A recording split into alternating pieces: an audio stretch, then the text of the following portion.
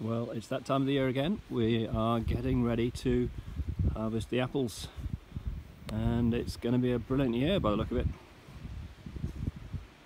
So this is our favourite tree. These are discoveries and they are just amazing red apples and ready for picking. So the great thing about these apples is when you cut them in half,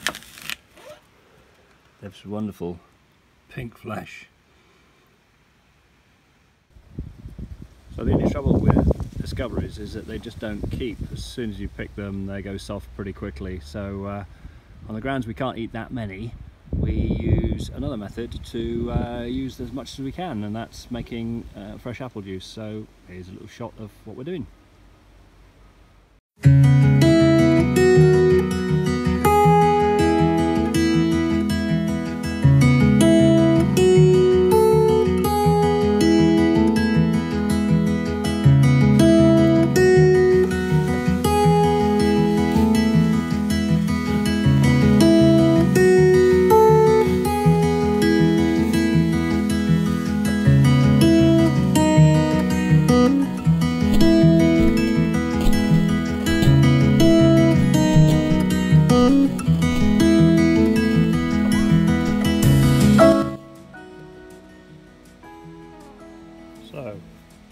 Collected. Into here, we get rid of the grasshopper.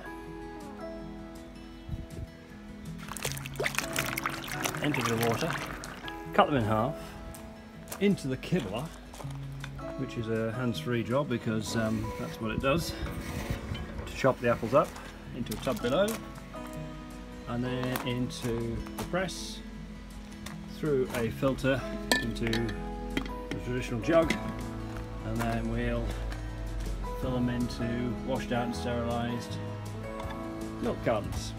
So that's the process. Just got to do it now.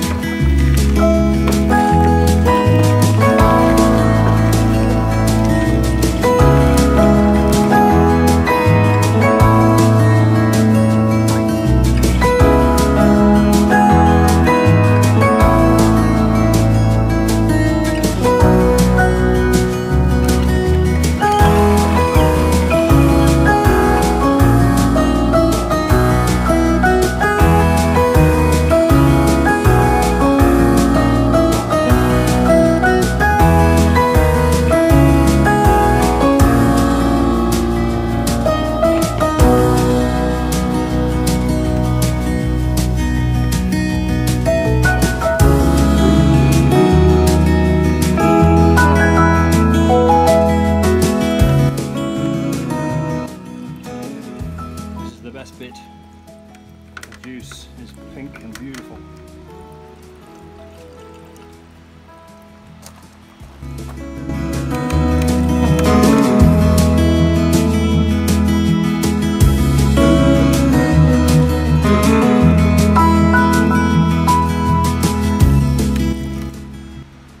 So, we haven't even done a full first press, but that's how much juice we've got we're going to now put it in our sterilised bottle.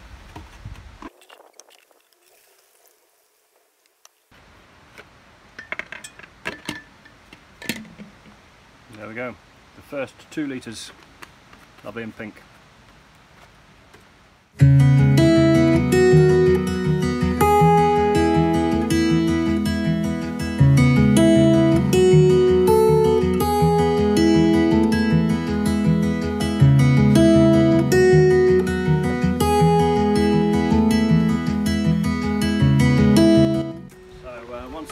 press is completed, we need to remove the pressing, which is known as pomace.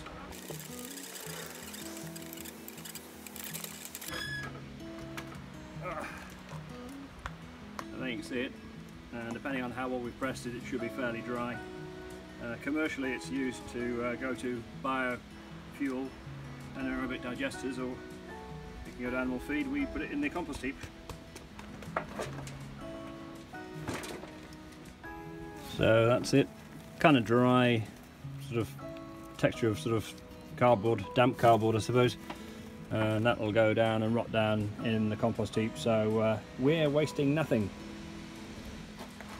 So that's it, three presses done, probably used about 150 apples and we've produced about 8 litres of juice. Um, time to taste it, it's a lovely colour, you see that. Uh, it will darken, and go brown as it oxidises a little because there's no preservatives in there but smells like apples, Tastes like apples. Really sweet, absolutely natural. It'll last about uh, eight days in the fridge uh, before it starts fermenting and trying to turn itself into cider. Uh, but we put it in the freezer and we can keep it there for as much space as we've got in the freezer. Depends really how much we can keep, but uh, it keeps us going for a good few months enjoying the fruits of our wonderful trees.